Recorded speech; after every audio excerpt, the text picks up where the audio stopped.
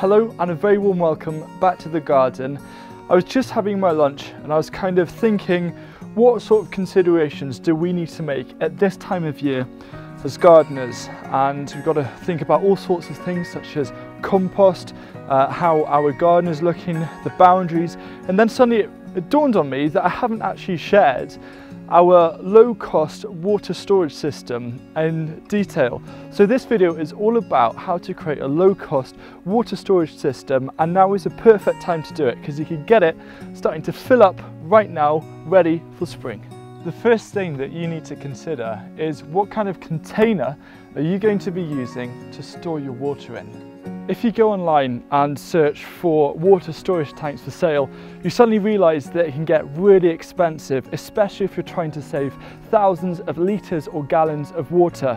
And it was in 2018 when we had that serious drought that we suddenly realised that we needed around 5,000 litres of water stored at any one point in time to try and get us over that and to keep the seedlings going.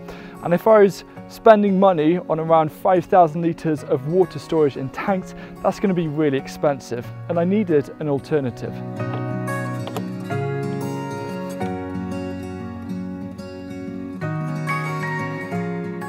And that alternative came in the form of IBC tanks. Now the thing that's so awesome about IBC tanks is that they exist all over the world and they're really easy to source, but you do need to do a little bit of due diligence. You've got to do a bit of research and make sure that whatever has been in the IBC tank isn't toxic because you don't want to end up with something that has had really bad chemicals and then you're going to be watering those chemicals all over your plants in the garden and that isn't really a good idea.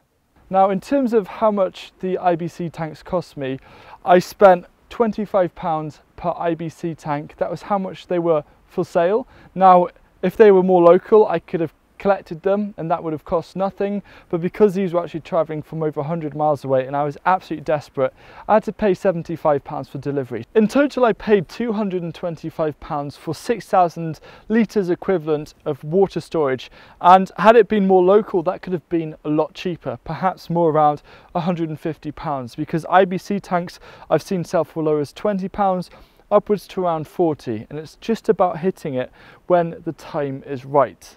This behind me is one of two water tanks that my parents use for their house and water tanks like this, had I wanted 6,000 litres equivalent, would have cost around 800, 900 pounds, not even including delivery. So you can already see that going for IBC tanks has slashed the price by three quarters. I was just trying to do the maths, but yeah, three quarters. There are so many ways of being able to fill up IBC tanks. The one behind me at the top of the main vegetable garden is the simplest. So all I do is at the top, I put in a pipe and I feed it from our main water source. That's something that you can do as well. Or if we've run out of water from our main water source and we're in a drought, what we do is we line a load of buckets underneath the barn. And if it rains, we capture that water and then we carry it uphill and then deposit the water into the IBC tank. It does require manual work and energy, but it's worth it, especially if it means that we actually have a means of storing water in emergencies. With the five IBC tanks here, we could apply the same principle as the individual IBC tank. We could feed each one of them separately. However, what we've actually decided to do, and it's far more efficient, but this is a bit of an upgrade, is to have one inlet and basically the idea is that this is the only tank that has an external source of water coming in which I'll explain in a bit more detail what that is for us in our situation. And the idea is when this tank is full there's then a cascade kind of movement. So then this tank starts to fill up. As soon as it's full this one starts to fill up. And it's because we've got connecting pipes at the top of each IBC tank to allow that to happen. Now for us, if we're then during the season wanting to use it, we start with this tank first and then slowly move our way down so we can start filling it up again. The final three tanks are hardly ever touched, but they're just there for security in case we need it. And that peace of mind is really, really important. You may have realised that these IBC tanks are sitting on top of pallets and the reason why is that we can have a bit of extra height. Which allows us to use this outflow tap and to fit a watering can underneath. Because if we put it directly on the ground, uh, then we're not really going to be able to utilize this tap. And it just gives us that extra bit of gravity to actually feed a pipe off into the garden as well. In order for water storage to be effective, it has to be full of water.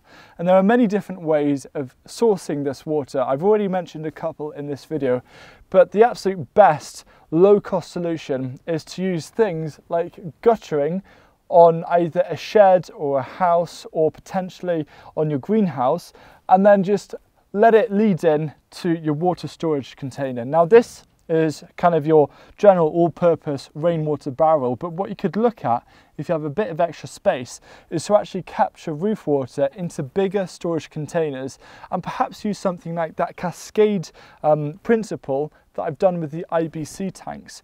This insulated undercover growing space is called a polycrub and this was developed in Shetland to deal with hurricane force wind etc. And I wanted to draw attention to it. I'll be doing more in-depth videos about it later next year.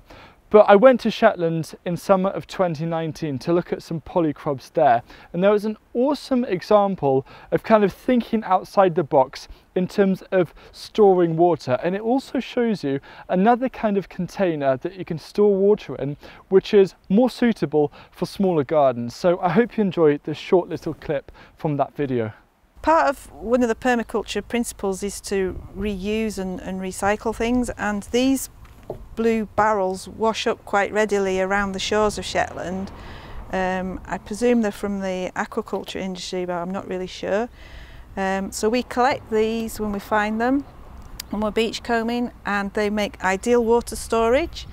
Um, we also discovered that this tile, tile edging makes a fantastic uh, gutter. Uh, and so all these barrels have been filled from rainwater because you've got a huge water harvesting area. Um, we also collect seaweed, which is no locally known as tang, from the shore, and we make a, a compost tea from that. You can just about make out where the IBC tanks are and the polycrub, and you might be able to hear that there's a stream.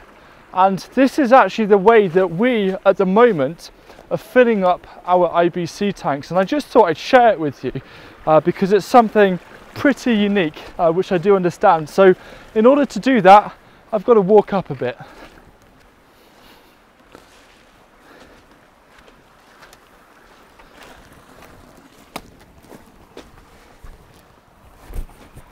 So one of the main things that you've got to do is just make the most of the resources that you've got. And because we're on a small holding, we've actually got a couple of streams here, which is ideal because it means that we can use these uh, to actually capture our water storage. So where I am now is at the start of the water pipe that leads all the way down to the IBC tanks where we can then put uh, the inlet pipe in. Now what we do actually have is two strands of piping. We've got one that goes down kind of to the bottom of the wood where it kind of just leads in uh, to the other stream. So it continues going. Sometimes we have to come in and just clear the silt out a little bit. But then when it comes to needing to fill up the IBC tanks we just connect the two pipes together, run the other pipe over to the IBC tanks and put it in. And it is really simple but it's a great way to use the water that we have because very often during summer these kind of streams dry out and then if our spring dries out as well, we're pretty stuffed because we're off the mains water supply. That's a process to create a low cost but highly effective way of storing water in your garden. Now if IBC tanks are perhaps too big for you and you know you can grow up the sides and over the top that's no problem whatsoever but if it is too big for your garden then look at what people like Sue are doing Sue over in Shetland who has the blue barrels that as well will work really, really effectively. And if you have any questions, don't hesitate to ask me down below in the comments. And I hope you're having a great start to winter, even though we're not officially in it yet. And I look forward to seeing you again soon. Goodbye.